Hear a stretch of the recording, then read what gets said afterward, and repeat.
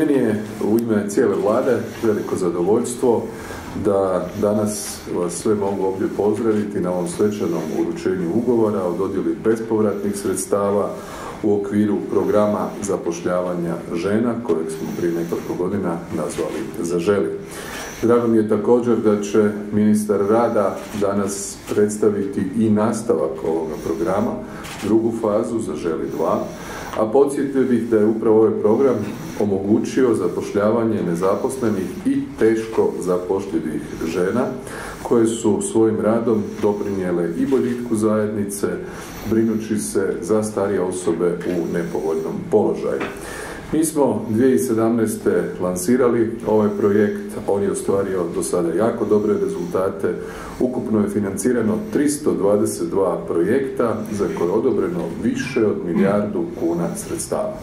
I to bespovratnih iz sredstava Europskog socijalnog fonda. Dakle, prvotno je bilo planirano 400 milijuna kuna, kada smo vidjeli kako je dobar odjek ovaj cijeli program imao, onda smo e, povećavali sredstva, apsorbirali sredstva iz fondova Europske unije, Europskog socijalnog fonda i do sada je kroz provedbu programa Zaželi zaposleno više od 6000 žena, a uključeno je 30 tisuća starijih osoba koje su zbrinute u vlastitom domu koje bez tih usluga bi imale vrlo teške okolnosti za samostalan život i time poboljšana i njihova kvaliteta života i više su uključeni u lokalnu zajednicu. E, mislim da je predstavljanje programa, odnosno druge faze ovog programa zaželi e, u, na ovom mjestu u Vladi Republike Hrvatske vrlo jasna poruka da ovo nije samo projekt Ministarstva rada i mirovinskog sustava, ovo je projekt cijele Vlade Republike Hrvatske i ovo je projekt iza kojega Vlada stoji i za koje Vlada smatra u, u svojoj cjelini da je izrazito kvalitetan, dobar i potreban hrvatskom tržištu rada. Kao što smo već mogli čuti u uvodnom izlaganju od strane e, premijera, dakle projekt kao takav je započeo 2017. godine, e, preko milijardu kuna e, sredstava iz Europskog socijalnog fonda je uloženo, preko 30 tisuća korisnika projekta postoji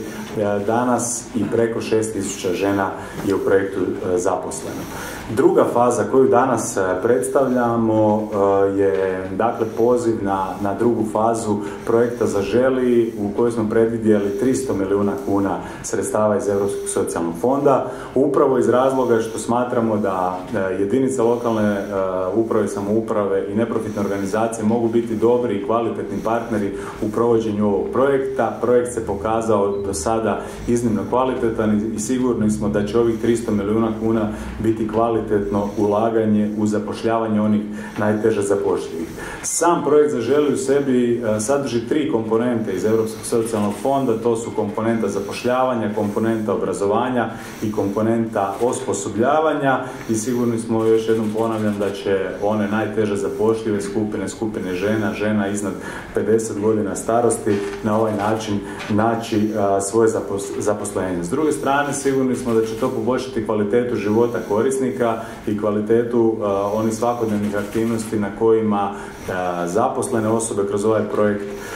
utječu.